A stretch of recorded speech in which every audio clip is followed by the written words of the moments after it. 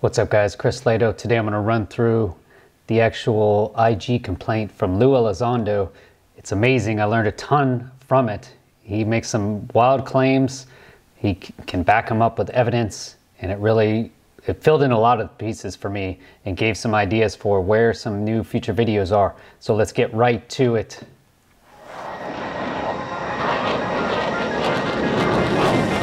Chris Lehto, welcome to Lehto Files.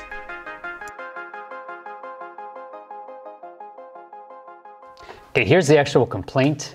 Fraud, waste, and abuse DoD hotline. There it is. This is to the IG. So this is uh, page one. Lue Elizondo says, I choose to identify myself for the complaint and I give permission for DoD hotline to release my identity on a need to know basis. Okay, this is it, hand filled out. I love it. There it is, Luis Daniel Elizondo, other Department of Defense. So next page is his information. Yes, I'm willing to be interviewed. And now allegation details. So he goes here now to really part two. Allegation details identify the person who committed the alleged wrongdoing. Gary Reed, he's the commander of USDI or the director of it at the time, retiree and civilian employee. Next on the list is Susan Gough. She was public affairs officer for the Pentagon, military reserves. She was actually a PSYOPs officer from the Army, civilian employee. That's probably not the person you want leading your public affairs. Oh, I guess depends what point you come from. And then he, finally is Neil Tipton. Neil Tipton was his supervisor, Lue's supervisor, when he was working on the ATIP program at USDI. Spelled incorrectly. Okay, one thing I do notice is uh, Lue has a tendency to misspell people's names, which I found does tend to make people uh, upset, actually. So Neil actually spelled with two L's. Lacatski spells Lacatski's name actually incorrect um, through a lot of these. So uh, initially I thought that this kind of maybe detracted from it, but he makes those mistakes kind of consistently. It's kind of just a, a mistake that uh, Lue tends to make. I've seen, I've seen that before with really good fighter pilots, actually. Some amazing fighter pilots I knew were just terrible spellers, literally just could not spell basic words. So uh, this actually kind of adds to the realism for me, but yeah, it's unfortunate he spelled the names wrong. Um, so you'll see it here. Neil Tipton, the final guy he names. Now let's get to the actual allegations. What did the persons do or fail to do that was wrong? So let's look at this. Conducted retribution and provided false information to the public, abusing government authority, illegal destruction of information. I mean, those are pretty, pretty large claims. To 2018 to the present, when did the incident occur? 2018 to the present. This is kind of weird. When would you have made aware of the problem is 2017. So if the problem started in 2017, uh, it, it's really just didn't occur. The problems didn't occur until 2018. Where did they take place? At the Pentagon. Look at that. What rule, regulation, or law do you believe to have been violated? Lue says Whistleblower Protection Act, multiple DoD directives, instructions, Freedom of Information Act. That Freedom of Information Act is an interesting one. We'll talk about that at the end. Briefly summarize how you believe our office can assist you regarding your matter. Inspector General should conduct a comprehensive review, inquiry, investigation into abuse of power, lying to the public, destruction of evidence, and conspiracy. Man, look at that. The Damn. Have you reported this matter to any other organizations, agencies? No. And then he signs certif certifications, okay? He signed these. This is a signed form by Lue Elizondo. Man, I consider him a man of honor. Look at this. I certify that all the statements made in this complaint are true, complete, and correct to the best of my knowledge. I understand that a false statement or concealment of a material fact is a criminal offense. Awesome. So he signed that. Let's see what he what he alleges. Okay, so for this, I actually added my own highlights. I added my own highlights to a lot of these just to make it uh, easier to read.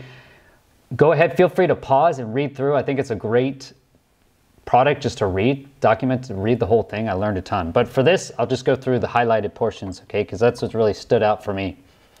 So this is the letter from Lue Elizondo when he filed this, actually 3 May 2021, so just last year, to the Inspector General. The Inspector General is supposed to be an outside agency, okay, in the military that actually looks at claims so they can answer claims, abuse of power. This is exactly what they're supposed to be there for, is to be a impartial right? Impartial entity that can actually do investigative issues, right? To answer people's claims, abuse of power. Exactly. This is what it is for, okay? So he writes, Inspector General, investigative personnel, attention. My name is Luis D. Elizondo. The purpose of this letter is to request an official U.S. Department of Defense Inspector General inquiry investigation into malicious activities, coordinated disinformation, professional misconduct, whistleblower reprisal, and explicit threats perpetrated by certain senior level Pentagon officials, including the Director of Defense Intelligence for Intelligence and Security, Gary Reed, Public Affairs Officer, Susan Gough, and any other officials who are complicit in these acts. Looks like Neil Tipton was on there. These negative actions against me have resulted in great personal and professional challenges to me and my family. He mentions that a few times in this, man. Lue has definitely come under a lot of strain, and you can tell, you know, he's basically at his, at his wits' end, kind of a man in desperation. Furthermore, evidence exists that substantiates my claim that there may be a deeper conspiracy within the OSD staff to circumvent DoD policy, rules, and regulations, and perhaps even law. That is amazing. That's a conspiracy claim. Is why aren't we getting information? Why haven't we gotten any videos actually released? I think this will highlight kind of how broken the process is. As reprisals continue to be levied towards me, I respectfully request DoD IG conduct a comprehensive review of all related activities against me over the last three years and correct the record of my involvement in the Advanced Aerospace Threat Identification Program. Sincerest regards, signed Luis D. Elizondo stands for Daniel. All right, so pretty interesting. Let's go through the actual. This next section, I'll go through the chronology of what really happened. Okay, it, it highlighted a lot of things for me. First, June 2008. While assigned as a chief to the Information Sharing and Forward Intelligence Relationships Office, Office of the Undersecretary of Defense for Intelligence, I was approached by representatives from the Advanced Aerospace Weapon System Applications Program to provide CI, as counterintelligence and security expertise, to their office. So this is June 2008. Basically, Jay Stratton and two other people that are redacted here contacted Lue Elizondo and said, hey, can you do counterintelligence for us? Can you run our program, essentially? And they said AAWSAP, okay? So that came from AAWSAP, June 2008. Then July 2008, so the next month, after several personal meetings in my office, Mr. Stratton and a redacted person invited me to meet with the AAWSAP director, Dr. James Lacatski. Okay, James Lacatski, you'll see his name come up in the recent book written, uh, Skinwalkers at the Pentagon. The whole time, Lue uh, misspells Lacatski, right? It should be, uh, from what I understand, L A C A T S ski. Um, but he puts in two Ks, does it all the time, also misspells Neil's name. So I, I consider it just, it's something, it's like a, mis, you know, a a character flaw, if you will. He has trouble spelling names or doesn't uh, appreciate it. Jim, and really because he called him Jim after that, okay? And Lacatski is kind of an interesting name. So he calls Dr. Lacatski Jim. Dr. Lacatski introduced himself as an expert in missile technology and as the director for the AAWSAP program. He further explained that AAWSAP was part of a very sensitive effort that was sponsored by very senior level individuals at both the legislative and executive branches. Jim Dr. Lacatski asked me what I think about UFOs. My response was sincere in that I don't think about UFOs, so he just hadn't really even thought about it up to that point. That same month, after one additional follow on meeting with Dr. Lacatski at his office in Rosslyn, I was officially asked by Dr. Lacatski to assume the role of AAWSAP's Chief of Counterintelligence and Security. Okay, so that was in July 2008. He had already received approval by the program's sponsors, former Senate Majority Leader Harry Reid, Senator Ted Stevens, and Senator Daniel Inouye. And this is actually documented. Uh, he has it in later, later documents. Okay, next month, August 2008, while supporting the AAWSAP effort, I was informed by Dr. Lacatski and other AAWSAP personnel about a specific portfolio known as the Advanced Aerospace Threat Identification Program and that most of my efforts will be focused on that aspect of the project. So this is where he talks about ATIP, okay? It's just one particular portfolio inside the AAWSAP whole program. I was informed this effort involved collecting data and evidence from military personnel who came into contact with UAPs. So I think that's why he, he seemed involved with it, helping personnel. I was asked to develop a comprehensive counterintelligence and security plan for this effort to protect the program from possible foreign intelligence service penetrations. Okay, so they're basically worried about this program getting spied on from foreign agencies. Okay, so they hire Lue Elizondo. In September to June 2009, so basically the next year, Lue Elizondo creates a counterintelligence and security posture, right? Ample correspondence exists between DIA senior staff and Dr. Lacatski that substantiates DIA leadership was not only supportive, but also in favor of the AAWSAP ATIP efforts to be expanded. So over the following year, basically Elizondo says he works on it, he created the counterintelligence security posture, and sounds like he got more and more involved in ATIP. Those emails still exist within a specific office at the Pentagon in both electronic and hard copies. Okay, so all the documentation he, Lue Elizondo says exists in the Pentagon saying that DIA supported this program. They supported AAWSAP, they supported ATIP, and the efforts were to be expanded. Okay? Okay, this changed basically in July 2009 to January 2010. So basically, the fall of 2009, this changed.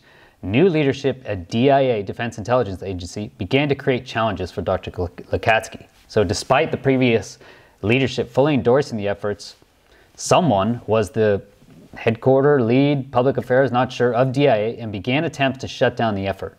As was explained to me by colleagues, there was a religious aversion to the subject matter by certain members of DIA and the OSD staff. So, this is where we've heard before that some members of staff, or who knows, DIA, basically had a religious aversion saying it was angels and demons and to shut the program down. That's really what he, Lue says here. That's why they shut the program down. It was my observation that key elements, this is in May 2010 to August 2012 now. It was my observation that key elements within Defense Intelligence Agency were attempting to hide anything related to AAWSAP simply due to a perceived sense of stigma. As such, I focused our remaining efforts on ATIP, given that there was ample information, data, and evidence, which we continue to receive, that indicated continued incursions into controlled U.S. airspace, both CONUS and OCONUS. So we haven't heard this about OCONUS incursions, okay? We've only heard about CONUS, which is really uh, around the contiguous U.S. OCONUS is overseas, okay? So this is the first mention I've seen, at least, of OCONUS. During this time period, my office had multiple meetings with eyewitnesses to include pilots, radar operators, and ship's crew. There are numerous emails from senior military service members and leadership that substantiate the fact that the threat was real. The emails still exist within the OUSDNI. Okay, so Lue continues to have multiple emails. You can get more information about this saying that, hey, the threat is real. They have military personnel, leadership, both in the US and overseas, saying that, hey, there, we have incursions. September 2012, as initial funding was exhausted for the ATIP program, right? So they basically removed funding. We successfully secured an additional $10 million through Senate Majority Leader Harry Reid. This funding was, was to be used for fiscal years 13 and 14. However, another office within the organization managed by Redacted used the funding to support academic studies involving intelligence, surveillance, and reconnaissance. So in academic studies for ISR, they stole the money. All right, October 2013. So next year goes by. I inform my supervisor, Mr. Neil Tipton, again misspelled, okay, Neil has two L's, of my work in a parallel portfolio. Mr. Tipton indicated he had no issue with me working other efforts as long as my duties were not neglected at the Intelligence Sharing and Partner Engagement Office. Okay, so basically, Lue Elizondo has separate duties. You do get additional duties in the military. Okay, so you can be working on different portfolios, especially when it sounds like it's all super secret classified. Okay, there is mention later to turn this into a SAP, SCIF. You're talking very, very high classifications, very high need to know. A lot of these people, like Mr. Tipton, probably wasn't read into the to the program or wasn't allowed to it. So you do have this separated stuff. Mr. Tipton indicated he had no issue with me working other efforts as long as my duties were not neglected. So Mr. Tipton was like, okay, I understand this, go ahead. Early 2014, my office received a very compelling video in 2011 sent to us on JWICS that was collected by a sensitive US platform operating in a denied area. So JWICS is the super, super high classified uh, network.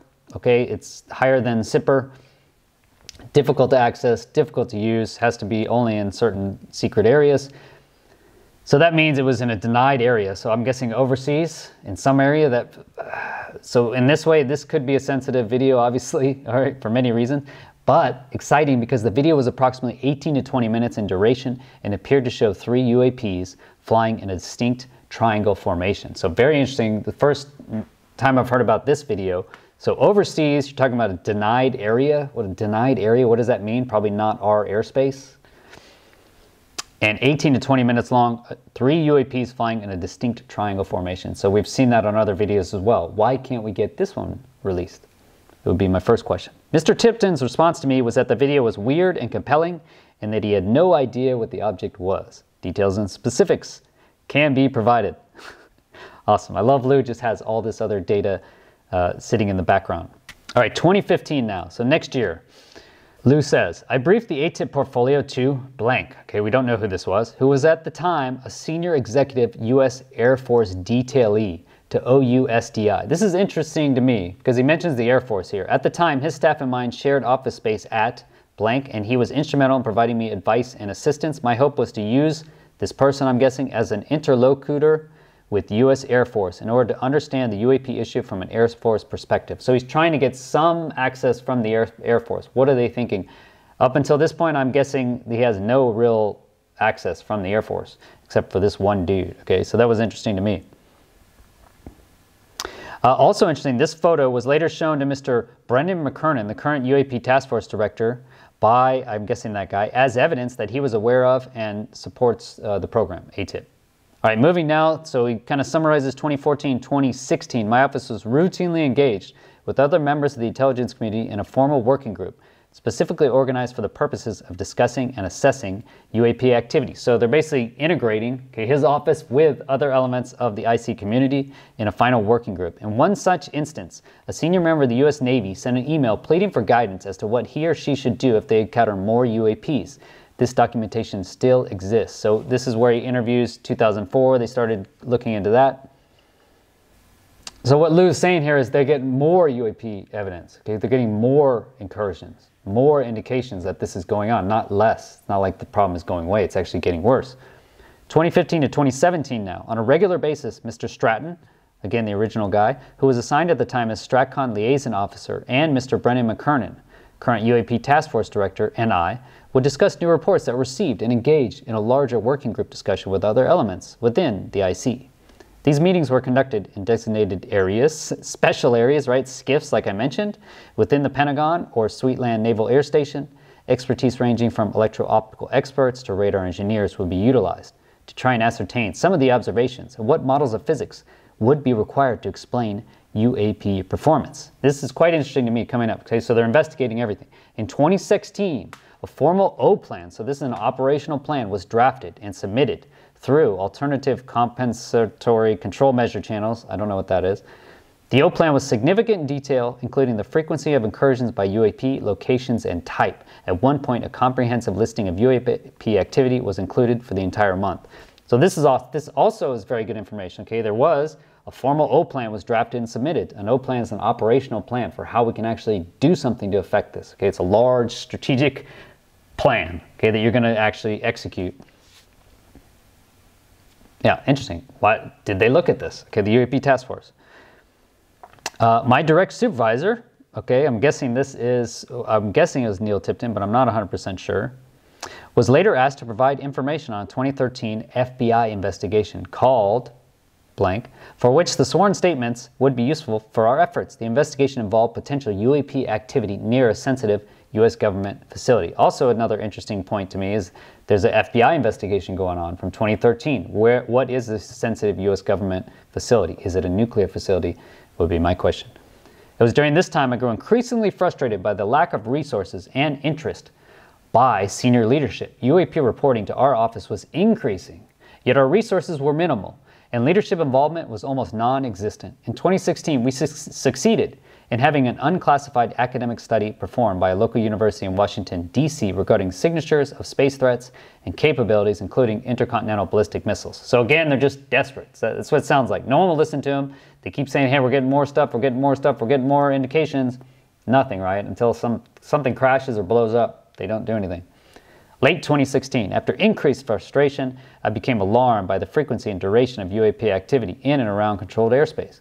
The instance, instances seem more provocative, and during one instance, they came within feet of U.S. fighter aircraft. This, the video of this encounter still exists on the ATIP share drive, known as Y Project, within the JWICS share drive. Okay, so it's unfortunately it's on the highly, highly classified JWICS server. Okay, I don't know how if it's even possible to get stuff off of that, but it's there, right? This video exists.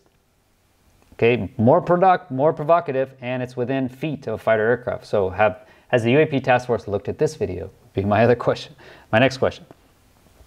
However, prior to informing Mr. Gary Reed, I was warned by several individuals that Mr. Gary Reed could not be trusted.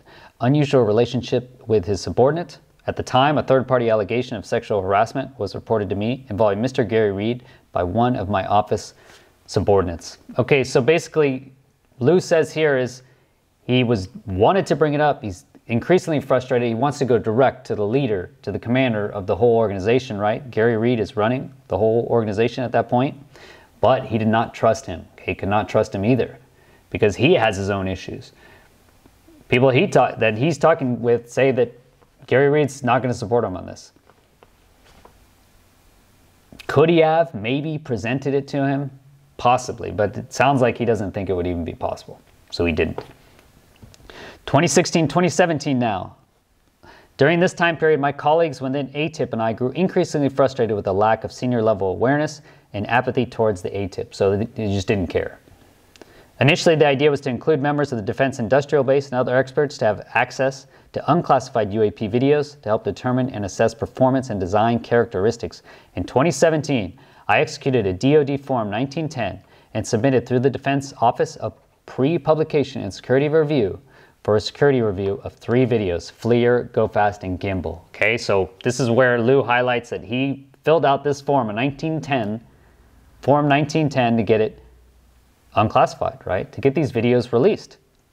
Because no one will listen. Okay, it's been several years. No one will listen. He can't get anyone in his organization to listen, can't get other people outside the organization to listen.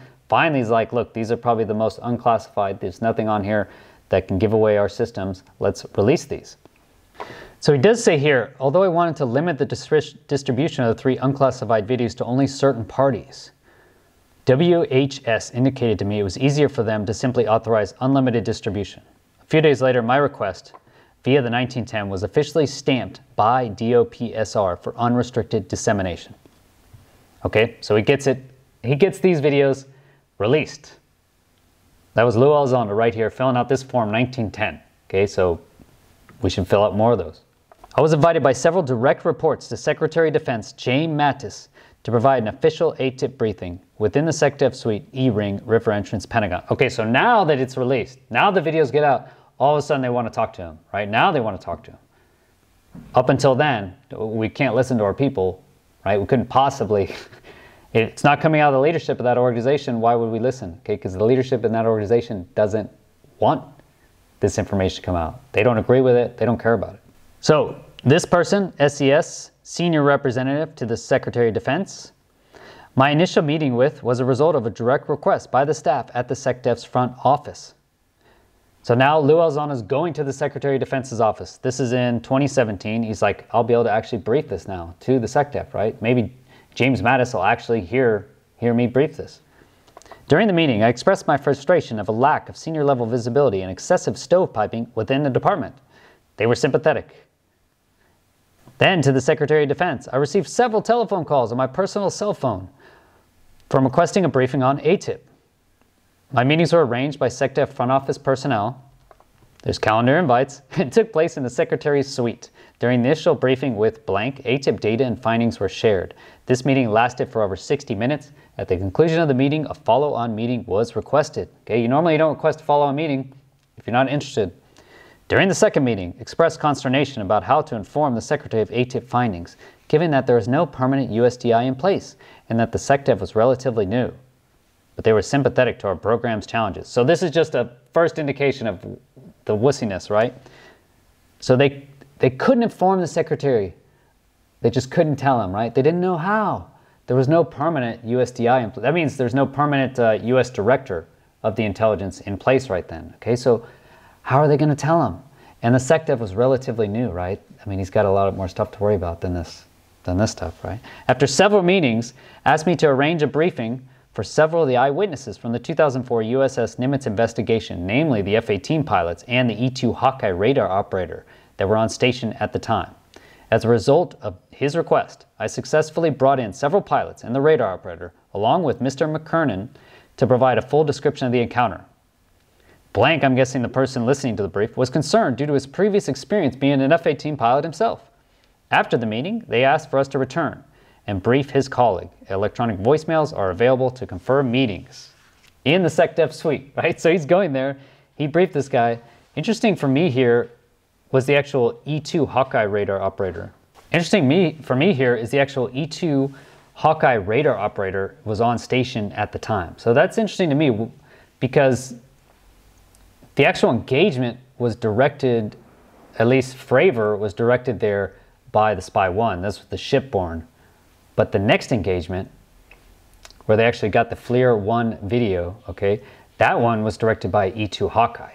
E2 Hawkeye has additional radar capabilities. Okay, so that means, in my mind, this, e, this Hawkeye radar operator was tracking it, basically cued them onto the actual object itself from the from the F-18 radar. Okay, so this Hawkeye radar operator, I think, was able to cue the fighter radar onto the object. So it means it was tracked as well. Also interesting. After several meetings, I was introduced to someone else who was the secretary's senior liaison to one of the members of the IC. After several weeks of briefing, she indicated to her colleagues and other government agencies are also working, taking this topic seriously, but did not know how to proceed at the time. This person indicated her concern about briefing the SecDef until they had a better understanding of the topic and the threat. Okay, so this is where we get into our issue, okay? The stigma. They don't want to brief it up. They just can't figure out how to tell him. Oh, we just can't tell you the information that we're supposed to tell you because we don't know how, because we're scared, right? And because we don't have an understanding of the threat. By the way, you're not going to have understanding of the threat because this is the unidentified aerial phenomenon, okay? The whole point of this whole thing is we don't understand it. We don't have an understanding of the threat. But that doesn't mean you hide the threat. Right? You don't have an understanding of the threat, so you're not telling the leadership. But it doesn't mean you hide the threat. You just don't want to highlight that you have no understanding of it. You don't want to highlight your inadequacies, right? And now you're going to put him in a bad position because what's he going to say now? What is what is the you know the SecDef going to say? What's he going to do? I don't know. But maybe he's the guy that should be making the decisions, right? The person that we put in that chair, not you. Because we didn't put you in that chair. You didn't get in that chair. You got in that chair through some finagling of things and how you were able to scratch your way to the top. That's how you got in the chair. Maybe you should just let the deciders make the decisions instead of you. Mr. Tipton agreed to assume the management role of ATIP under the condition that I remain an advisor and part of the ATIP construct. So this is July to 3 October 2017. So basically, Lue has basically had it at this point, from what I can tell, is he said it's not going to work. They are just not going to pass it the information, right? He even says it right here. I explained to, the, to this person that time was not on our side. Action must be taken to inform the Secretary. I informed them of my previous interaction with the Secretary when he was the Marine Expeditionary Unit Commander in Kandahar, Afghanistan. And my experience with the Secretary is that he would prefer to be informed sooner rather than later, i.e., just give him the information. So at this point, I think Lue is just fed up with it. He ends up transferring, okay, he transfers control or direction of ATIP to Mr. Tipton. Okay, so Mr. Tipton agreed to assume the management role of ATIP under, under the condition that I remain an advisor and part of the ATIP construct. So he asked, hey, you got to help me with this, okay? I'm not going to do it on my own because I don't know really anything about it, which is kind of what I get from his emails. Per guidance from blank and blank, I drafted an official memorandum assigning my ATIP responsibilities to Mr. Tipton for SecDef approval and signature. Mr. Tipton received the memorandum and voiced his approval. Sounds good. Attachment 5 and 6. Man, those documents suck, right? When they bring up those documents from the past that you signed. After nearly a decade of working within the ATIP portfolio, I decided to resign my position within the Pentagon and submit my resignation letter. I deliberately addressed my resignation letter to the Secretary himself knowing my senior supervisor, Mr. Gary Reed, would not be able to hide it from him. Exactly. So that is the first part. That's really what Lue did, the actions up to that point, why he resigned, how the videos came out. All very enlightening stuff. I really enjoyed it. Now we'll go through just quickly, just two minutes. Now we'll just go through quickly on what are the issues, okay, what the rest of it. So 5 October, Mr. Gary Reed asked what, what to do with the letter. Lue told him he should do whatever he thinks is prudent, but the letter was intended for the Secretary of Defense. Mr. Reed was clearly upset with me and indicated that he wanted to see me in his office. He also said that he would tell people you are crazy and it might impact your security clearance. awesome. Lue's like, hey, I'm a civilian, man. You don't owe me anymore. December 2017, on Des- both the New York Times and Politico broke a story about the AATIP program. In both these stories, Pentagon spokesperson Ms. Dana White validated the existence of the program and my role as lead. This is where the, just the debacle just can, starts, right? So they say December 2017 that he was in charge of AATIP, man. Oh, God. And then it just keeps changing. Then in March 2018, turns out Garry Reid is under a formal investigation for inappropriate relations. Surprise. Under a Freedom of Information Act request by a member of the media, it was revealed that an official US AFOSI investigation was conducted regarding three unclassified videos that were authorized for release. In this investigation, there were no findings of me conducting any kind of unauthorized disclosure. Okay, so this is really where they just start coming after Lue Elizondo, and you can see here the first is they open an Air Force OS an Air Force OSI investigation. Just seems like why the why the Air Force OSI uh, regarding three classified videos, right? Because this is not it's Navy videos, so I'm curious why they would do that. He actually attaches in here is how nothing was found wrong. Let's look at that right now. What's great here is Lue talks through the actual videos. Okay, so this is the, the form, the document that he requested. This is this DD form 1910. Okay, we should be filling out more of these. And right here it says type MPG file, go fast gimbal FLIR. And so he says here, what's the subject area? UAV, balloons, and other UASs. Okay, so he doesn't say UAP on there. And maybe that you know, makes people mad or something. But from him, uh, publication data not applicable, not for publication, research and analysis only, and info sharing with other U.S. government and industry peers for the purposes of developing a database to help identify, analyze, and ultimately defeat UAS threats. The attached material has department approval for public release. And clearance for open publication is recommended under provisions of DoD, right? It's clear for release. Okay, I just want everyone to remember that we pay taxes so that the military, the government can defend the nation, right?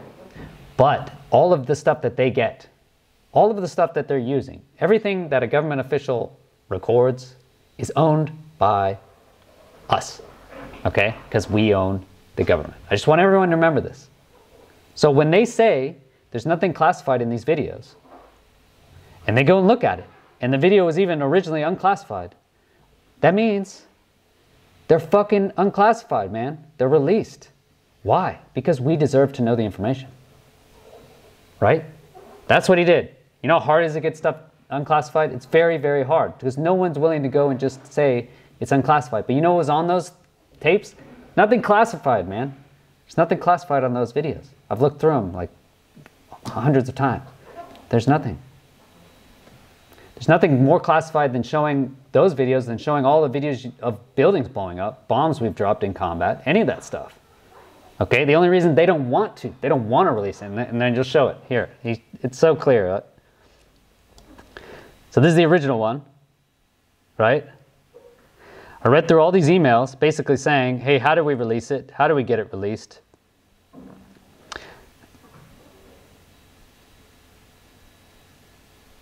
he goes through and lists all the email exchange. Okay, there's, I'd say it's all looks legit.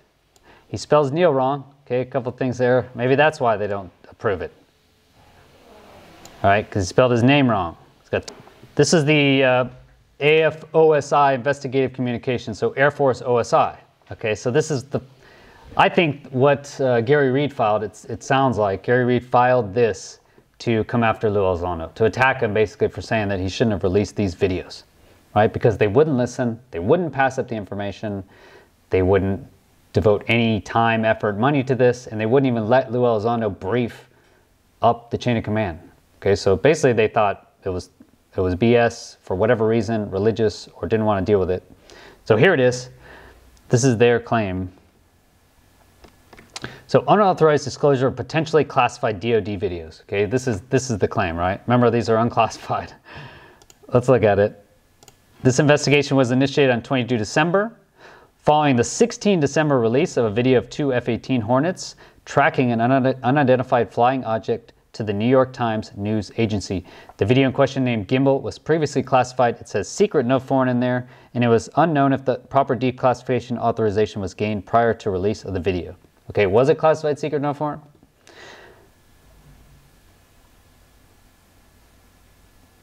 Okay, so I highlighted here.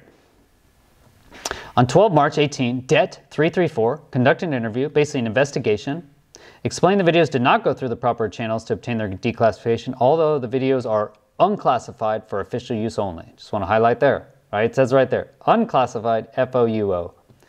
What does that mean? It's unclassified, we don't share it around, it's controlled information, okay, but it's going to be pretty hard to say that we can't release that to the public stated the videos will not undergo the formal declassification process just because they were inadvertently released to the public. Okay, so this guy, this person who who reviews all information. Listen to this is how look. This is a glimpse into our security release apparatus. Blank redacted relayed. There was no indication the videos were classified in the first place. Blank blank stated 100% of all F-18 videos go through his office for declassification and public release. That person also stated the videos which subject released never went through his office. So, question is, how do you even know it's an F-18 video? Okay, because that is a targeting pod video. Doesn't, I mean, F-18 video. The other thing is, 100% of all F-18 videos go through this one guy. Think about that. So if you're ever wondering, why don't we get information? Why aren't videos being released? Why have we had no new videos released since the, one crappy hearing video they released in the past year, right? Think about that. Nothing has been released. It's because all of them go through this one guy, right? And this one guy says, nah, or this one guy gets a call from Susan Gough saying, hey, don't release that because I'm trying to change the FOIA. um, you know, we don't want to release that. Guess what's going to happen? It's not going to be released. He's just going to say no. And how many, how many of these guys do you think exist up the chain? A lot, okay? And either way, unclassified in the first place. These videos were not even classified in the first place. Remember that. And you look at it, they're not. Okay? You can find videos of buildings blowing up just like it using the same exact pod on the internet, and that's just fine, right? Nobody's filing uh, complaints over that. All right. Finally, on April on 13 April 2018, Blank redacted contacted someone redacted and confirmed that after conducting an official classification review, the three videos obtained by subject were confirmed to be unclassified. Blank stated the unauthorized disclosure program management office considered the matter closed. Conclusion Air Force OSI DET 334 considers this matter closed and will forward the appropriate documentation to the Undersecretary of Defense, Intelligence, Pentagon, Washington, D.C. for action. Okay, that was in 2018. Question is, three years later, Lue is still dealing with it, right? He's still dealing with it, even though it was proven the videos are unclassified, there's nothing on there. The release was being limited by who? Hmm, I wonder. And how and why they kept saying he wasn't a part of the AATIP program. This is the Public Affairs Office standing from the Pentagon, okay? It's just ridiculous to me. Okay, there's issues of him. 2009, here we go. Harry Reid names him by name. Okay, says AATIP is a program. Here it is, attachment one. Look at this. Okay, he's number 10. What's also interesting is this list, okay? So this is the list. This is from Harry Reid, this letter, basically asking for a, a SAP. This is a, a Special Access Program Office. So in order to get higher security, so that they can get more information about higher security programs, I think they think some of these are our programs, okay? So, who's starting this? Basically, is the fiscal year 10 preliminary bigoted list of government personnel. So we have William Lynn is the Deputy Secretary of Defense. Okay, so there someone was, was involved.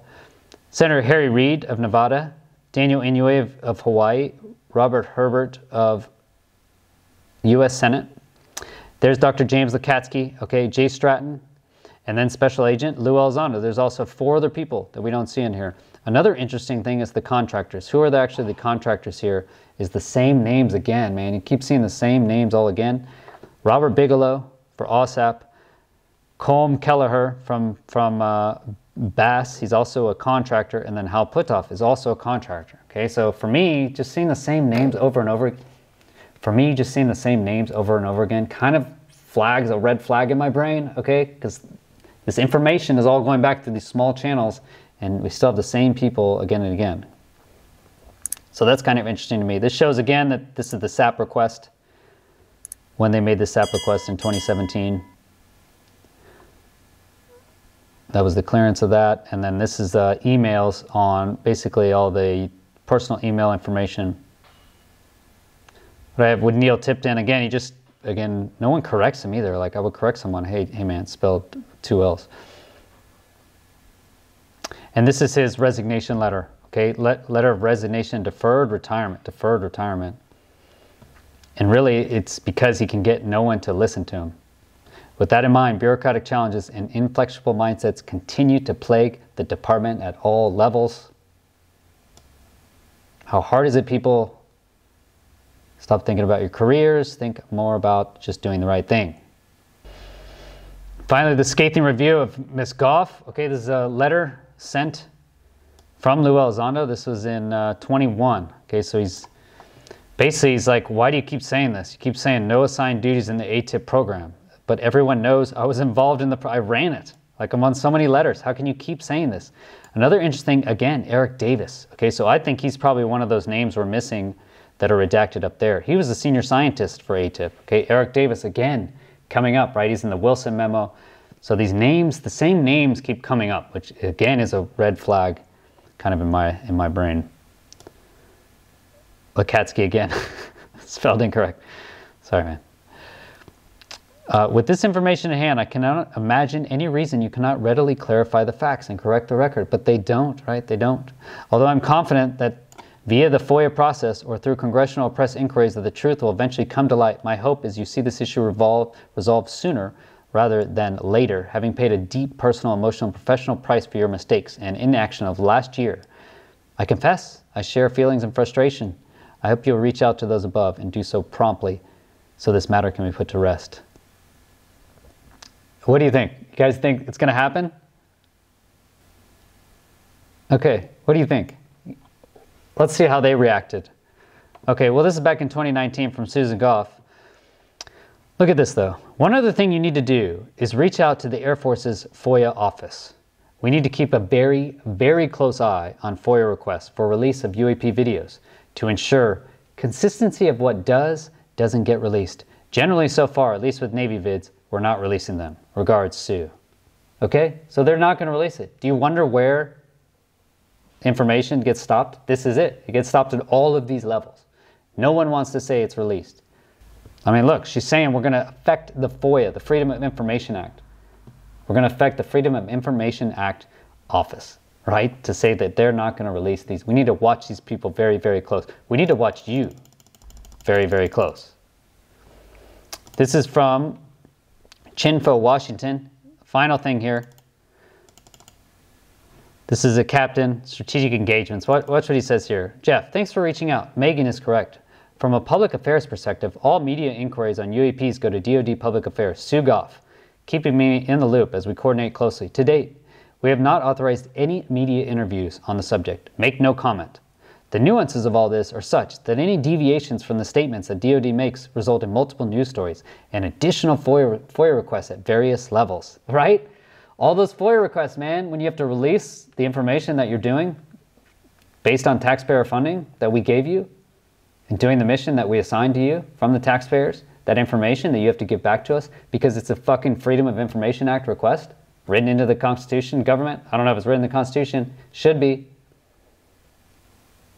That's it, right? This is it. Make no comment. Why? Because there's too many nuances. Too many nuances. Really? How about you just brief the information to the leaders? How about you just give the information to the public? Have you heard of this?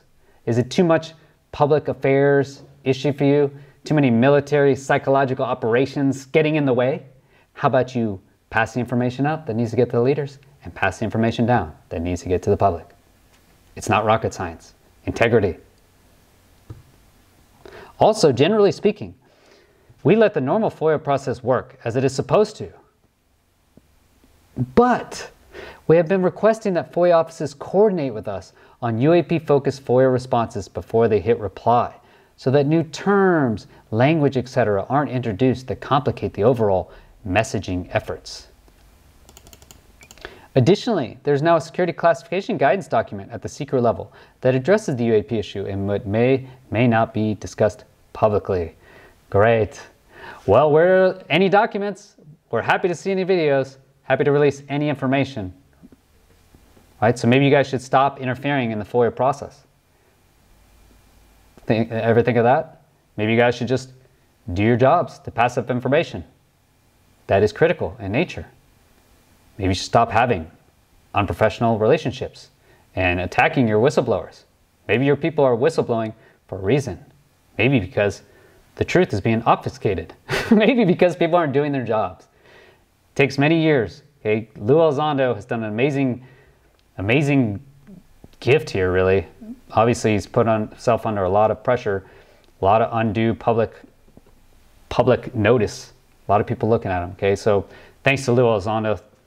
Thanks for releasing this, man. Awesome stuff. I think it's very high. It highlights exactly the problems. Okay, it's our security classification or declassification issues. A lot of people sticking their little hands in the process they shouldn't. A lot of people abusing power. Same old stuff, everybody. And this is why I just don't have a lot of faith in the government releasing their information. I just don't think they have a vested interest in it. They're not interested in transparency from what I've seen, and they're going to continue to lie and keep this separate. My question is, where are the videos? Okay, I'll believe it when I see any, any new video, compelling video. All right, guys, that's why we started our own UAP Society. Come to our Discord, support us there, join, if you want to hang out, hit that like and subscribe button if you did like this video. Really helps the algorithm, really helps the channel. And please support, if you want to support the channel, on patreon.com forward slash Chris Lehto. Patrons get backstage access, including additional live streams, patron only live streams, and additional information. I always appreciate the support. It lets me to do this full time. Thanks for being here. Have a great week. Peace.